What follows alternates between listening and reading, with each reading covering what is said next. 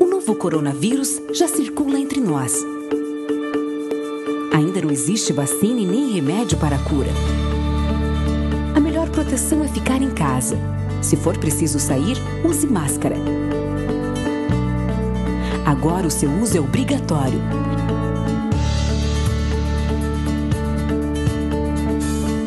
A máscara cria um distanciamento social, evitando a contaminação por gotículas que saem da nossa boca.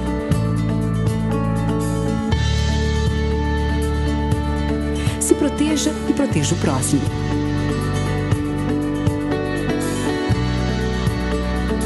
Fique em casa. Se sair, use máscara.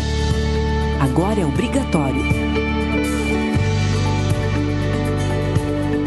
Todos contra o coronavírus. Prefeitura Municipal de Parintins.